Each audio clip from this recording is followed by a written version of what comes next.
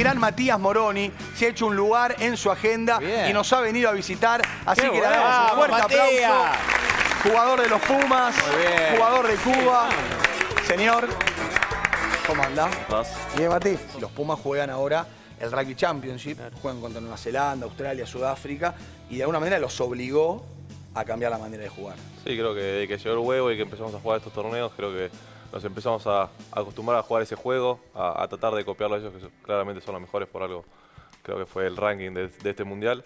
Y creo que sí, creo que por suerte a la gente le gustó, a nosotros mismos nos convencimos de, de que este es el camino, así que esperemos por- ¿Ustedes realmente lo sentían así?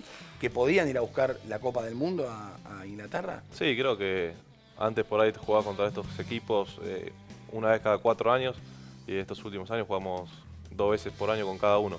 Y eso por ahí te, te va, te va mostrando en qué, en qué nivel estás. Y creo que cada vez nos, nos sentimos más cómodos. Pudimos ganarle a Australia, este, este año, principio de año, Bueno, le ganamos a Sudáfrica. Claro. Prestemos atención a este tape que viene. ¿eh? Esto es la inauguración del Mundial de Francia 2007.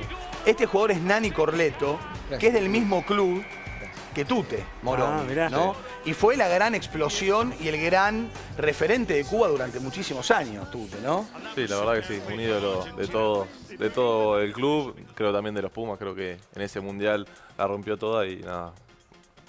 Creo que la Panamericana estuvo bastante empapelada por él. Era un, poco de, era un poco la referencia de ustedes en Cuba, por ahí cuando vos eras más chico y en el 2007, hace 8 años, tenías 16.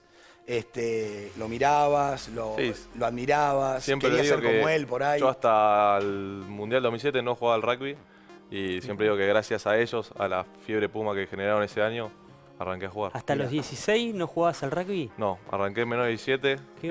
¿Por qué? ¿Qué fue lo que te llamó? Yo en el colegio obviamente jugaba al rugby, pero nada, por ahí no había pegado mucho el estirón, me, me dediqué un poco más al fútbol, pero un fútbol entre amigos con lo del colegio. Y nada, después de en cuarto año un, pro- un profesor me dijo, anda a jugar, me insistió todo el año. Y bueno, tenía un amigo que jugaba en Cuba, el bondi nos pasaba a buscar por la esquina de casa, así que me quedaba cómodo, nos traía de vuelta, así que nada, arranqué en Cuba y hoy es parte de mi vida. Y este es el Este. try que enseguida Ah, madrugó genial, sí, a los irlandeses, cuando todos creían que la fiesta iba a ser verde, apareció Tute por la derecha. Tremendo. Eh, ¿Cómo Genial, fue ¿eh? esa jugada? Te- Nada, fue una pelota, ellos pateamos nosotros, la devolvieron, eh, después volvimos a patear nosotros, la agarró Tucu, un rack rápido y después nada, abrimos la pelota, de repente estaba yo en la línea y Santi Cordero, que nunca sabes qué va a hacer, pisó para afuera, un 2 contra 1 y yo... ¿Se esperaban que a los 10 minutos iban a estar ganando 20 a 0? No, la verdad que no. Pero bueno, la verdad que encantado de haberte tenido un rato en el programa. Vamos a brindar con Tute. ¿Cómo señor, no? Así lo dejamos Gracias libre, por que vaya a venir. descansar. A descansar.